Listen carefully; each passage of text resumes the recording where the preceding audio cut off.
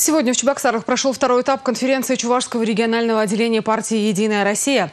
Делегаты конференции подвели итоги избирательной кампании по выборам депутатов Государственной Думы России седьмого созыва и Государственного совета Чувашии шестого созыва. На конференции подчеркнули, что выборы 18 сентября прошли в Чувашии на высоком уровне. После подсчета всех голосов партия «Единая Россия» на выборах депутатов Государственной Думы России получила более 50% голосов. Кандидаты от «Единой России» в Госсовет получили стопроцентную поддержку в одномандатных округах. По партийным спискам «Единая Россия» получила 14 мандатов. В итоге из 44 депутатов 36 будут представлять партию.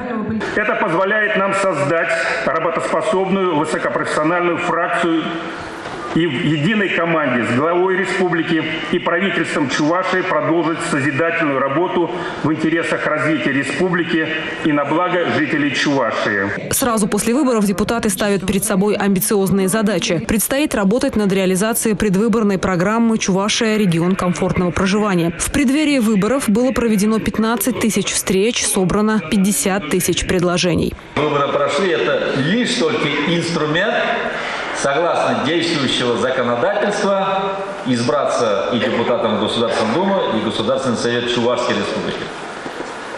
Впереди ответственная, серьезная работа. В течение пяти лет мы со своими избирателями должны работать и разрешать, и решать все те вопросы, которые их волнуют. Конференция также рассмотрела кандидатуру председателя Государственного совета Чувашии. Большинством голосов фракция «Единая Россия» в парламенте предложила выбрать спикером Валерия Филимонова.